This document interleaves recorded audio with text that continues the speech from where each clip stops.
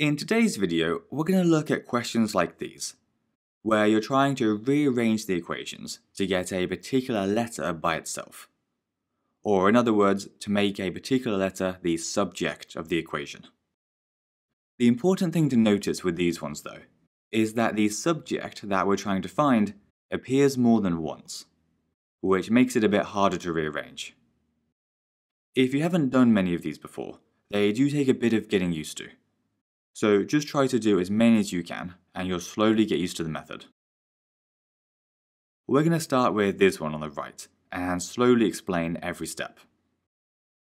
The first thing that you always want to do with these questions is to get rid of any fractions or brackets, so that we just have a bunch of terms that are being added or subtracted from each other. So for this question, which doesn't have any fractions, we just need to get rid of the brackets by expanding them both out.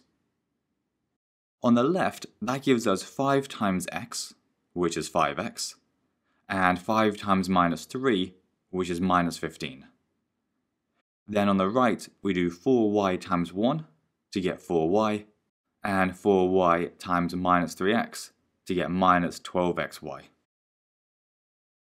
So if we look at our equation, we now have four different terms, and they're all being added and subtracted from each other, with no brackets or fractions.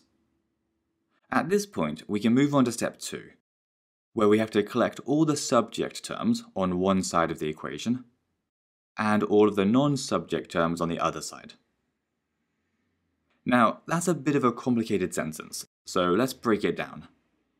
A subject term is just any term that has the subject letter in it.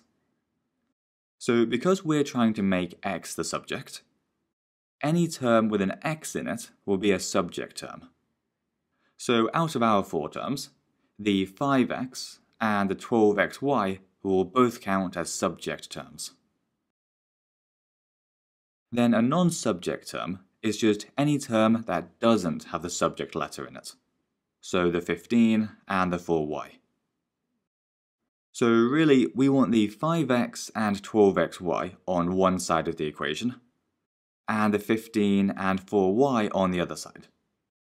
It doesn't matter which side is which though, so let's just go with the subject terms on the left and non-subject terms on the right, which will involve moving the 12xy term to the left side and the 15 to the right side. To move the 12xy, we're going to have to add 12xy to both sides, leaving us with just 4y on the right, and giving us 5x minus 15 plus 12xy on the left. And then to move over the 15, we just add 15 to both sides, giving us 5x plus 12xy equals 4y plus 15. Now that we have all the subject terms on one side, and all the non-subject terms on the other side, we can move on to step 3, which is where we factorize the subject terms to take out the subject letter. So that just means factorize these two terms to take out the common factor of x which would be x, and then in brackets 5 plus 12y. And that would still be equal to 4y plus 15. Then finally, the very last step that we have to do is to divide both sides by the bracket that we just formed to get the subject letter by itself. So in this case, that means divide both sides by the 5 plus 12y. To get x by itself on the left, equaling 4y plus 15 over 5 plus 12y. And at this point, we don't really need these brackets anymore, so we can get rid of them.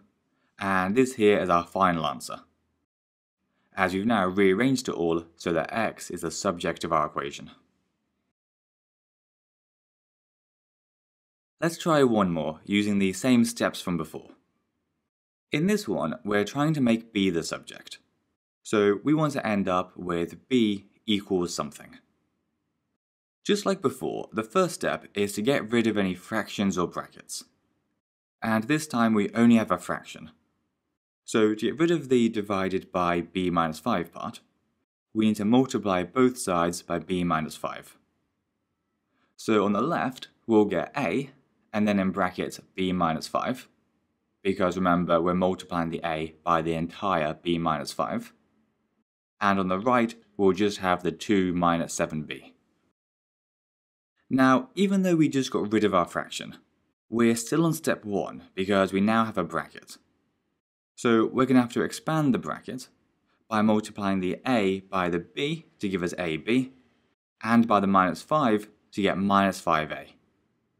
And remember that this still all equals 2 minus 7b. Next, we can move on to step 2.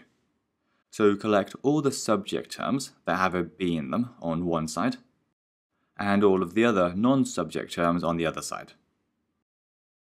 So if we decided to put the subject terms on the left again, then we'd need to move the 7b over to the left and the 5a over to the right. To move the 7b, we need to add 7b to both sides, which would give us ab minus 5a plus 7b equals 2. And then to move the 5a over, we need to add 5a to both sides, to get ab plus 7b equals 2 plus 5a. Now that we have our subject terms on the left, we can move on to step 3 and factorize them to take out that common factor of b. So we'd get b, and then in brackets, a plus 7 equals 2 plus 5a. And then finally for step 4, we just divide both sides by the a plus 7 to find that b equals 2 plus 5a divided by a plus 7. And that's it. One thing I want to add before we finish is that sometimes you might not need to follow these exact steps, because some questions are a bit different. But this technique that we've been using will work for most of the questions you'll come across, and there isn't really a better technique that works for everything. So really, you just need to practice lots of questions and really understand the algebra that you're using.